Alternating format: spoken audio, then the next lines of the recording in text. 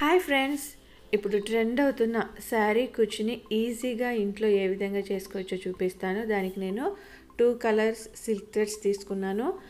కింద హోల్ ఎక్కువగా ఉండే నార్మల్ నీడిల్ తీసుకున్నాను. తర్వాత నేను ఒక కలర్ సిల్క్ థ్రెడ్ని ఫార్టీ లైన్స్ నేను తీసుకొని నిడిల్లో పెట్టుకుంటున్నాను. ఫార్టీ లైన్స్ తీసుకున్నాను. మనకి ఇది నిడిల్లో పెడితే ఎయిటీ లైన్స్ అవుతుందన్నమాట. మనం రెండు చివర్లు సేమ్ తీసుకోవాలి. తీసుకున్న తర్వాత మనం శారీ పళ్ళుని ఒక టేబుల్ మీద కానీ చిన్ని స్టూల్ మీద కానీ వేసుకోవాలి. నేను ఇక్కడ మీకు శాంపుల్గా క్లాత్ మీద చూపిస్తున్నాను. మీకు శాంపుల్ పిక్ చివరిలో పెట్టాను. ఇక్కడ నేను ఆ పళ్ళు చివరన ఈ విధంగా నిడిల్లో పెట్టుకున్నదని ఈ విధంగా తీస్తున్నాను. మనకి ఎంత పొడుగు కుచ్చు కావాలో అంత పొడుగు వరకు తీసుకోవాలి. తీసుకొని మీరు కట్ చేసేసుకోండి. ఎగ్జాక్ట్ షేప్ కాదు. కట్ చేసుకున్న తర్వాత లాస్ట్కి మనం ఎగ్జాక్ట్ షేప్ కట్ చేసుకుందాం. అదేవిధంగా ఇంకో నార్మల్ నిడిలో జెరీ థ్రెడ్ తీసుకొని మధ్యలో నుంచి తీసాను. కింద నుంచి మధ్యలో నుంచి తీసి చుట్టూ ముడి కింద వచ్చే మాదిరిగా చేస్తున్నాను. మళ్ళీ కింద నుంచి తీసి లోపల నుంచి అనమాట మనకి ఇక్కడ నాటు పడుతుంది. ఈ విధంగా మీకు అది ఎంత థిక్నెస్ కావాలో ఆ జెరీ థ్రెడ్ అనేది అన్ని సార్లు మీరు దాని చుట్టూ తీస్తూ ముడి వేసుకోవాలన్నమాట. నేను ఇక్కడ సిక్స్ టు సెవెన్ టైమ్స్ తీసాను తీసిన తర్వాత ఫైనల్గా పైనుంచి కిందకి మధ్యలో వచ్చే విధంగా పైనుంచి కిందకి దింపి ఈ ఎంత పొడుగుందో అంత పొడుగులో ఈ జెరీ థ్రెడ్ని మనం కట్ చేసుకోవాలి. మధ్యలో నుంచే ఎందుకు తీసాము అని అంటే చెప్తాను. మనకి ఇక్కడ మధ్యలో నుంచి తీయడం వల్ల అసలు ఏమీ కనిపించట్లేదు. ఇక్కడ ఫస్ట్ చూడండి నేను సైడ్కి నాట్ వేసేసుకొని కట్ చేశాను. అందుకే అది ఎక్స్ట్రా పార్ట్ పక్కకు కనిపించడం వల్ల నేను కట్ చేసేసాను అనమాట సో మధ్యలోకి తీయడం వల్ల మనకి అది అందులో కలిసిపోతుంది. ఇక్కడ మధ్యలో నేను ఇంకో డిఫరెంట్ కలర్ యూస్ చేస్తాను కాబట్టి నేను జస్ట్ మార్కింగ్ పెట్టుకున్నాను. మనం ఆల్రెడీ సిల్క్ పింక్ కలర్ని నీడిలో పెట్టుకున్నాం కాబట్టి అదే కంటిన్యూషన్ స్టిచ్ చేస్తున్నాను.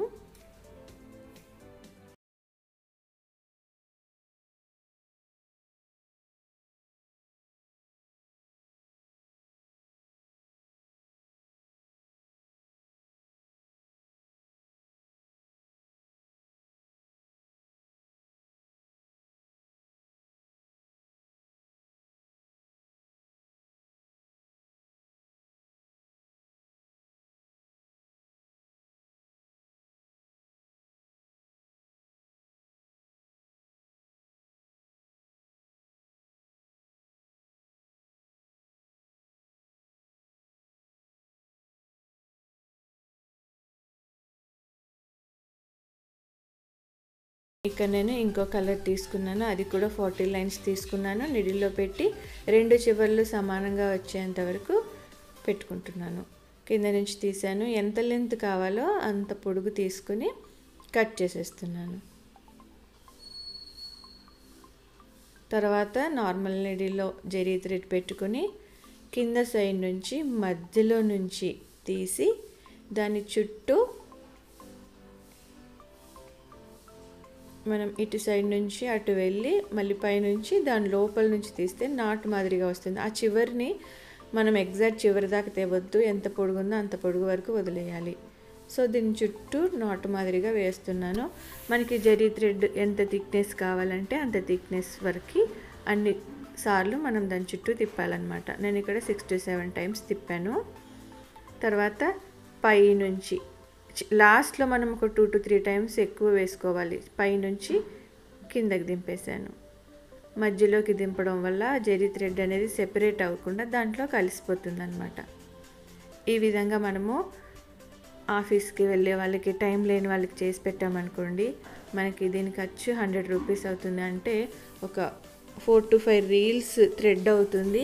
మనం దీన్ని ఒక సిక్స్ టు సెవెన్ హండ్రెడ్కి సేల్ చేసుకోవచ్చు. సో ఇంట్లో ఉండి ఒక రోజుకి మనం ఫైవ్ హండ్రెడ్ సంపాదించుకోవచ్చు అనమాట ఇది బేసిక్ మోడల్. నేను తర్వాత ఫ్యూచర్లో ఇంకా మోడల్స్ చూపిస్తాను. మీకు ఈ విధంగా చేసేసుకుంటే శారీ పళ్ళుకి ఫైనల్గా శారీ అనేది ఈ విధంగా రెడీ అవుతుంది. మీకు ఈ వీడియో నచ్చితే లైక్ చేయండి షేర్ చేయండి ఛానల్ని సబ్స్క్రైబ్ చేసుకోండి బెల్ సింబల్ తప్పకుండా క్లిక్ చేయండి. Thank you friends.